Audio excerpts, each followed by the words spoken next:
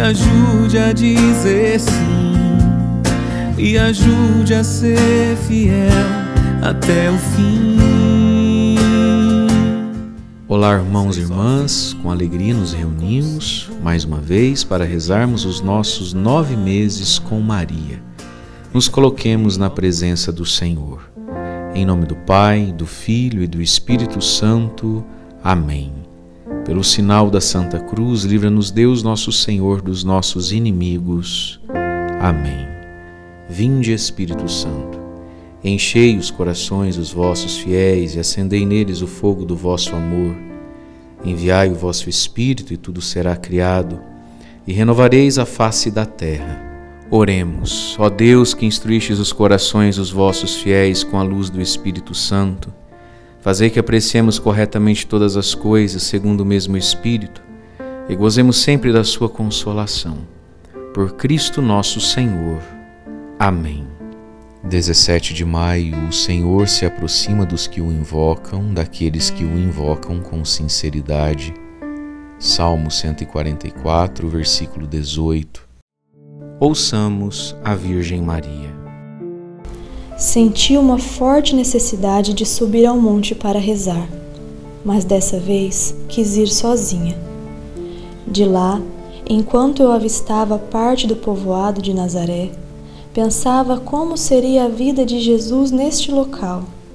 Depois, coloquei a mão no meu ventre e conversei com ele assim: Querido filho, a mãe o ama. Não vejo a hora de tê-lo em meus braços, de poder ver você crescer, correr e brincar por essas ruas.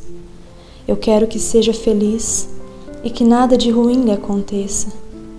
Eu rezo ao Senhor da vida que o proteja hoje e sempre. Querido, nós vamos viajar. Vamos visitar um priminho seu que está para chegar.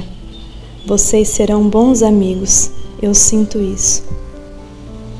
A necessidade que temos de rezar e orar não é simplesmente uma necessidade da alma, mas um convite de Deus. Quero você em minha companhia. Oremos.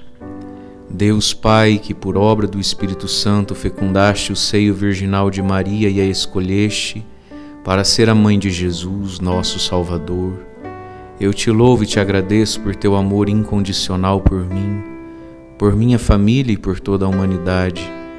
Sei que minha vida é regida pela tua providência. Da mesma forma que chamaste Maria para uma missão tão importante, também me chamas para cumprir teus desígnios. Quero ser fiel a ti, a exemplo de Maria que gerou o Verbo por nove meses. Também quero gestar o teu filho em meu coração até eu poder dizer, como o apóstolo Paulo: Já não sou eu quem vivo, é Cristo quem vive em mim. Nesta novena, em que eu acompanho diariamente os nove meses da Virgem Imaculada grávida, eu te peço a graça. Coloque então a graça desses nove meses com Maria, sua intenção de oração. E rezemos juntos. Eu confio Amo e espero, assim como tua serva Maria Santíssima, Mãe de Jesus. Amém. Pai nosso, que estais no céu, santificado seja o vosso nome, venha a nós o vosso reino. Seja feita a vossa vontade, assim na terra como no céu. O pão nosso de cada dia nos dai hoje, perdoai-nos as nossas ofensas, assim como nós perdoamos a quem nos tem ofendido e não nos deixeis cairmos em tentação, mas livrai-nos do mal. Amém. O anjo do Senhor anunciou a Maria, e ela concebeu do Espírito Santo. Ave Maria, cheia de graça, o Senhor é convosco, bendita sois vós entre as mulheres, e bendito é o fruto do vosso ventre, Jesus. Santa Maria, Mãe de Deus, rogai por nós, pecadores, agora e na hora de nossa morte. Amém. Eis aqui a serva do Senhor. Faça-se em mim segundo a vossa palavra.